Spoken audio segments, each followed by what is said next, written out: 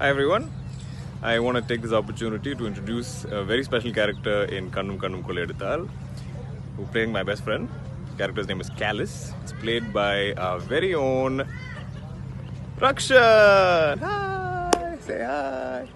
Kannum Kannum Kole Edithal. Clear சொல்ல கண்ணும் கண்ணும் கண்ணும்